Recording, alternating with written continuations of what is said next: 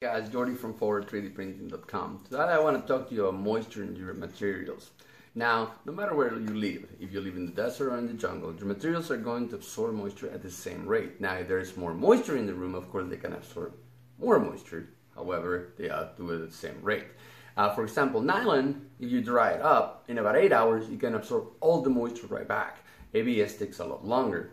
In this particular case, I wanted to show you why you want to keep your materials dry I used two examples of Hatchbox ABS.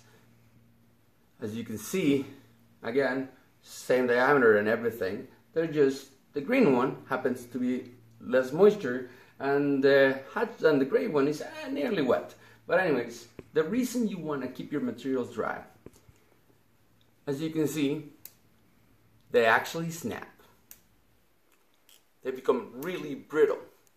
Now, with a dry material, all you see, it bends, right? That consistency that you want to keep when the material is wet, remember it's moisture didn't run from the air.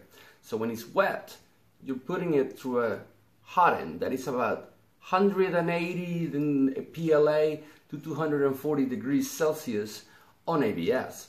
So remember, water boils about 100 Celsius.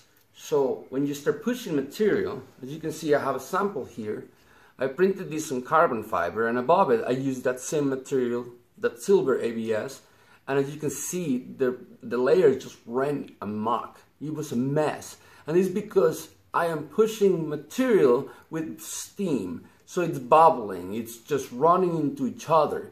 It's not the material's fault, it's my fault for having opened it and let it, you know, get wet.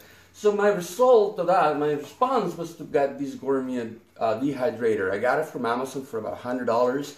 Uh, there was a bunch of other ones, there were cheaper ones, they were round. The only reason I got this one, first of all, because the round ones, if you have to stack up your materials, if you want the one on the bottom, then you have to take it all off. In this particular one, it has a little door. It's a magnetic door.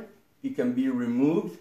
I would like it if it was hinged, but it's okay either way. As you can see, I have all my materials. If I want to dry my material, all I have to do is pop it right here and close it. Now I have, in this case, three rolls. The smaller rolls, like Ninja Flex, you can put up to four. Again, that was my response. Plus, guess what? You can make beef jerky with this thing. It's great. Um, again, I'm not making any video or any claims that this is the best one because I don't know. But for what I'm using it, it's fantastic. Uh, my prints turn again, the ABS that is in carbon, it's, it was dry before I did it, and it, the layers fantastic. It, this sample might not be as clear as you think, because if I would have let it go, it would have been just mess. So, for about $100, I got this solution, which is elegant, fits on a square table better than a round object, and it helps with my prints. My prints are smooth all around, no more bobbling, no more nipples. Um, with this being said, this is not a solution to not have your materials dry always. Your materials being packed, sealed from the manufacturer and being kept closed until you have to use them, it's a better option. However, in my case, I have several 3D printers and print, people ask me to print different things in different materials, so materials have to be open as I'm printing. So I will recommend you one material at a time and if you have to happen open more than one material at a time, get solution like this. This is, again, I ran it for 48 hours straight the first day and it dried all my materials and now they get wet again. I can just store them again and keep them running. You can set up your temperatures. It has a display that actually allows you to do that. It has a display where you can set up times up to 48 hours.